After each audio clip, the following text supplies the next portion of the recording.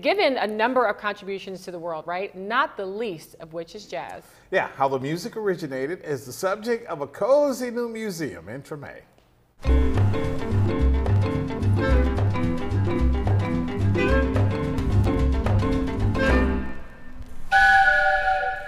Treme's Petit Jazz Museum.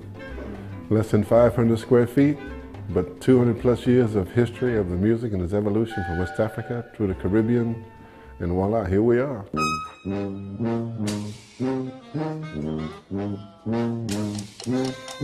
The major difference between the other museums and ourselves is that if you want to see a real document that says this is Ray Charles at the Dew Drop Inn, we got that.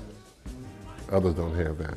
If you want to hear a real narrative of the connectivity, we can do that, and they don't know offer that.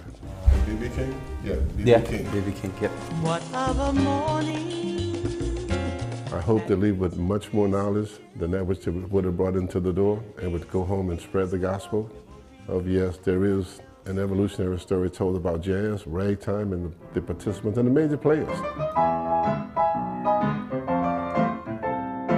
Uh, because it's all interconnected. When we connect the dots between the djembe drum and the Afro Creole, like Paul Sylvester's great-great-grandfather, Eugene Macarty, who studied in Paris classical music, it would bridge that gap.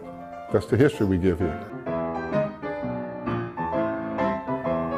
The Treme Petit Jazz Museum's at 1500 Governor Nicholls, smack in the heart of Treme. We've got a link. The time's open at WGNO.com. I that love how we have little gems. Just you know, you pa- we probably passed it all up. You know, not even Yes. knowing. But you, I was asking how much was it to get in? Yeah, You and said, I think it's, just, a a suggested su- donation. suggest man. donation, so it's And there's free. like you can buy a poster and that helps the museum there and all that kind of stuff. Yeah. So, Mr. Jackson and, and, and his partner, they're wonderful cats and got a lot to say over there. yeah, very nice. Still ahead on news.